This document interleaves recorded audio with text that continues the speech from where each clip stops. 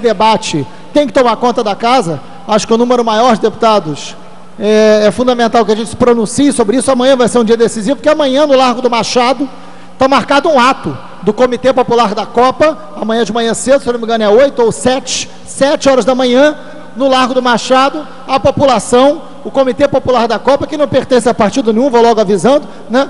São torcedores, são pessoas que estão preocupadas com o Rio de Janeiro, vão marcar um protesto e muito bem-vindo, só espero que ao contrário dos protestos da barca, né, a justiça não olhe para isso com maus olhos, devia olhar com maus olhos uma, um edital como esse, né, não uma manifestação popular.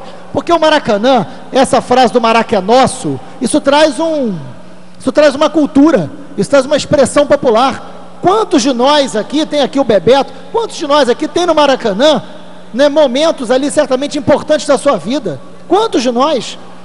Então, esse Maracanã, ser retirado da cultura popular, ser entregue para iniciativa privada, atender a todos os interesses, menos os esportistas. Quanto se investiu no Célio de Barros? Quanto se investiu no Júlio Delamare? Quanto se investiu no Maracanãzinho? Pelo contrato que estão defendendo, o, Maraca, o Estado não vai receber nem 10%. O Estado não vai receber nem 10% do que investiu nos últimos 13 anos. Então é um escândalo monetário, é um escândalo cultural, é um absurdo que essa casa tem que se manifestar. Eu sei que não passa por nós, mas aqui é também lugar de construção de opiniões e de pressão. Amanhã de manhã estarei no Largo do Machado, junto com a população, protestando em defesa do Maracanã, porque o Maracanã é nosso. Rapidinho, Se a mesa permitir, deputado permitiu, Paulo um Ramos. Segundo. Permitido.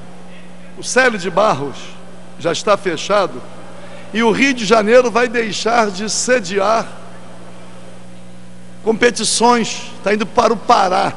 Agora, se é para fazer estacionamento, se eles dizem que vão transferir para o outro lado da estrada de ferro, por que, que não fazem um estacionamento então do outro lado? É uma questão Evidente. de lógica do óbvio. A grande questão Evidente. é o compromisso com as empreiteiras, é o compromisso com as deltas da vida e não com os interesses do Estado do Rio de Janeiro. Presidente, muito obrigado.